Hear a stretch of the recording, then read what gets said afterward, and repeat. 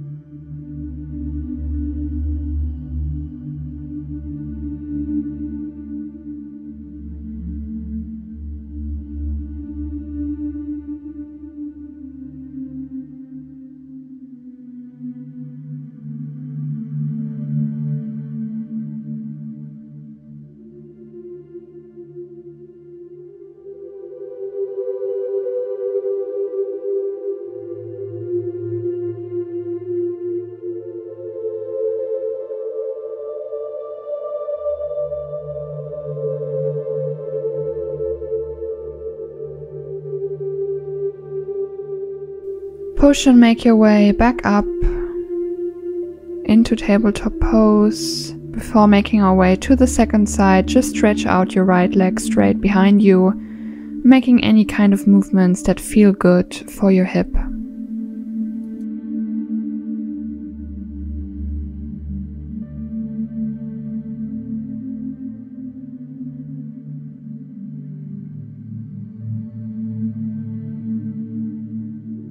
Setting ourselves up for the other side, left knee makes its way behind the left wrist.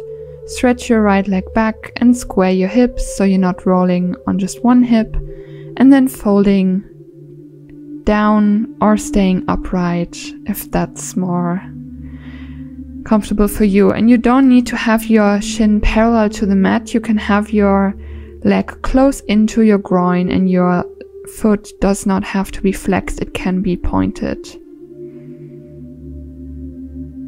When you choose to fold forward, maybe use a block to prop up your head and then fully arrive in your swan pose, focusing only on your breath.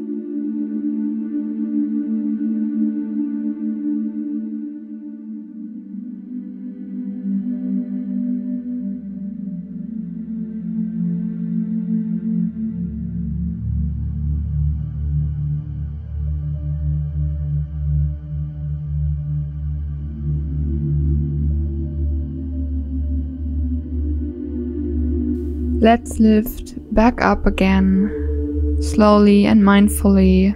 And again, when you're on tabletop, maybe stretch out your left leg, stepping it behind you, making some leg circles, hip circles, whatever feels good.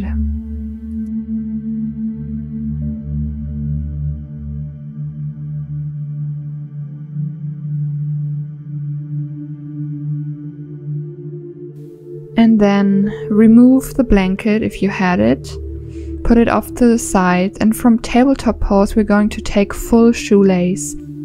So stack your left knee over the right, try to bring your heels close towards you, and if this feels like too much for your knees or hips, you can sit up on a block or just come into a cross leg variation. So with or without the block, if this is enough, you can stay upright here, otherwise you can walk your hands forward to fold over your knees. And you can again use a block or maybe two blocks as support for your elbows or your head. Whatever feels best for you, just try it out and play with the different options. So here I'm doing a block tower for my head Whenever your mind begins to wander, bring your awareness back to your breath. And maybe send your breath into any sensation you feel, maybe in your low back or your hips.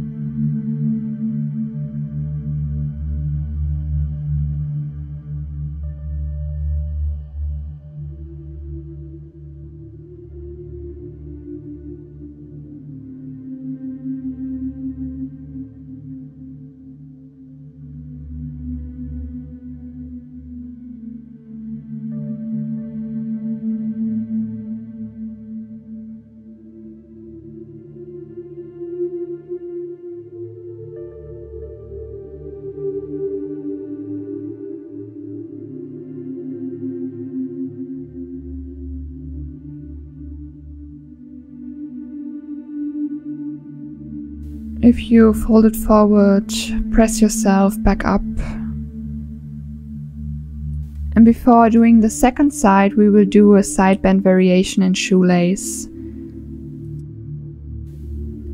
So reach your left hand out to the side, extend and lift your right arm up and over to really feel the side stretch, bending over to the left, and then lower the right arm back down letting it rest on your right hip. Try to keep your right hip pressing down into the mat. Don't bend too much so that it lifts up off the ground. The elbow may or may not come all the way down to the mat. If not, you can prop your elbow up on one or two blocks like I'm doing here. You can also release your neck and include a little neck stretch as well.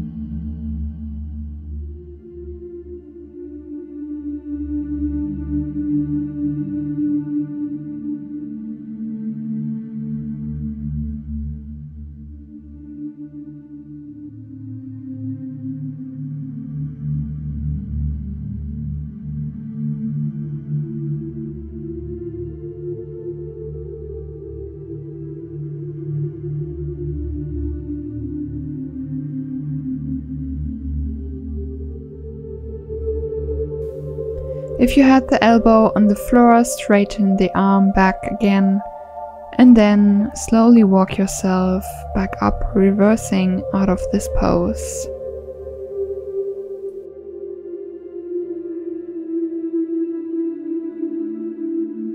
Taking a moment seated here to notice how calm you're beginning to feel after these two poses, breathing deeply.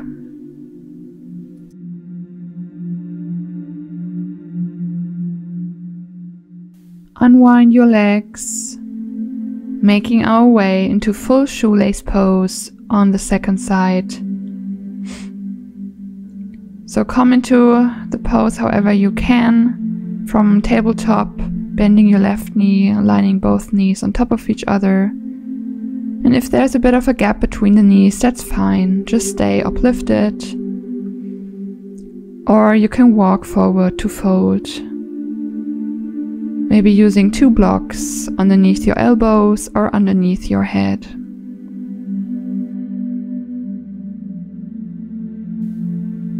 Let your head be really heavy. Everything is relaxed as much as possible.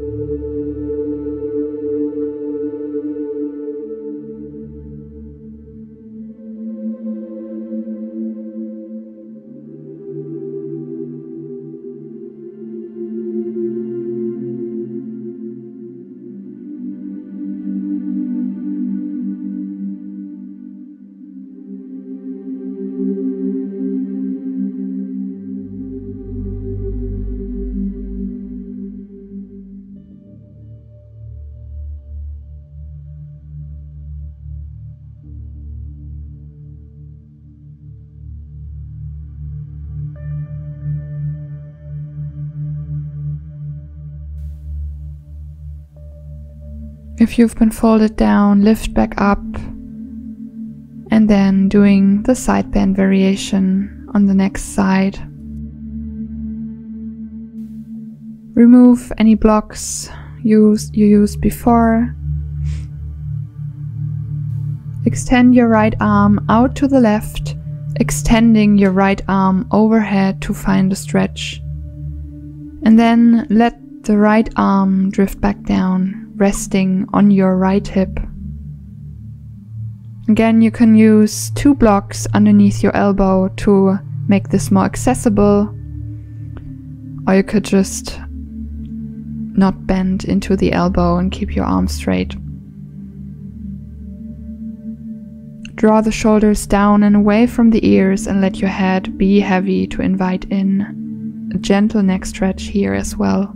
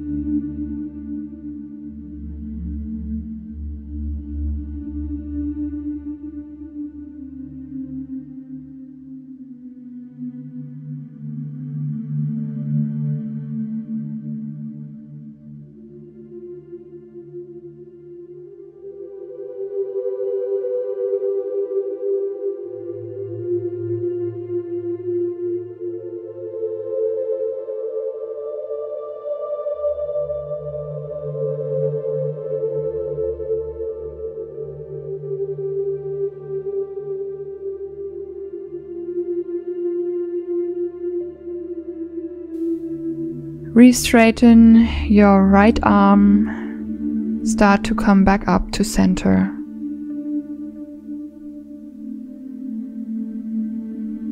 Taking a moment here in shoelace seated upright. Noticing how you feel. Before removing our props to make our ways lying down on our backs.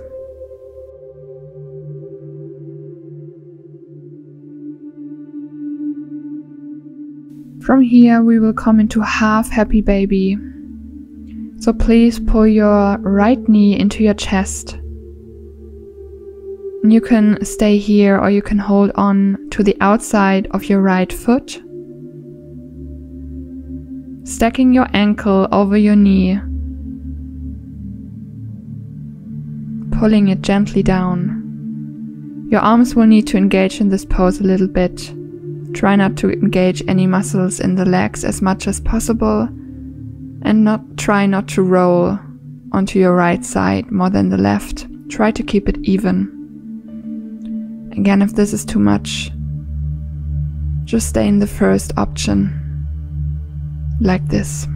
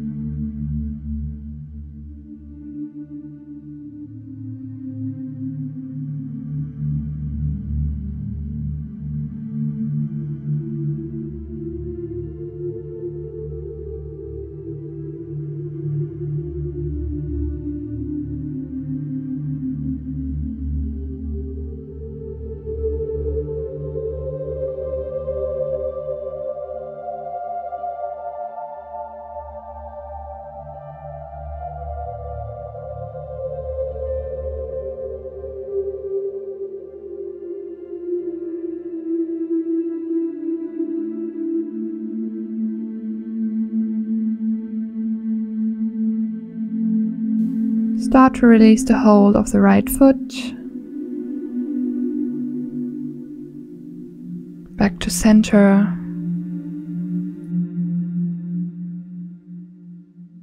And then onto the left side, pull your left knee into your chest, either staying here if this is enough of a stretch for you, or alternatively, you can hold on to the outside edge of your left foot, stacking your left ankle over your left knee, keeping your hips even and leveled so you're not rolling more onto the left hip than on your right.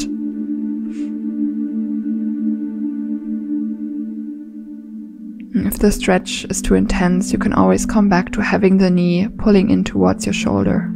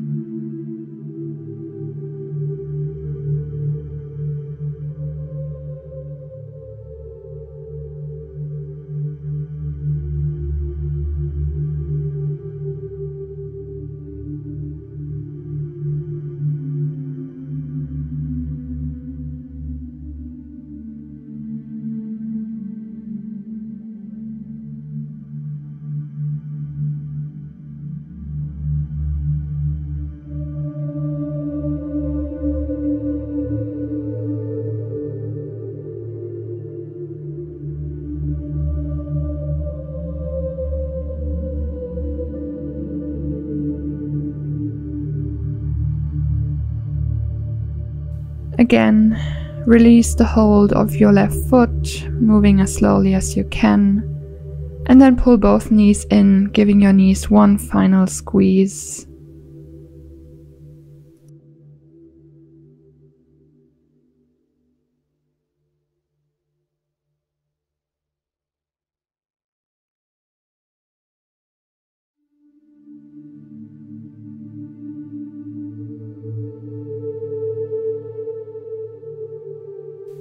When you're ready, meet me in Shavasana. Both legs outstretched, arms go out to your sides, and just rest here.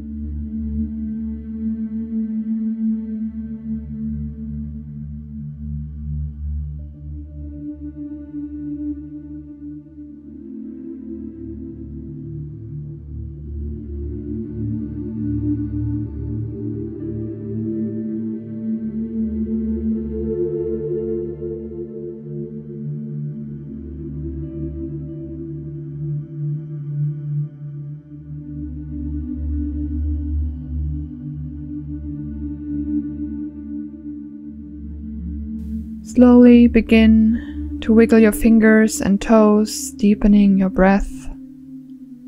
Reach the arms up overhead in a big stretch, and then draw one leg into the chest and then the other, giving yourself a squeeze. Rolling over to your right side using your forearm as a pillow, left hand to the mat. Keeping your eyes closed and intention inward, gently press yourself up to a comfortable seat.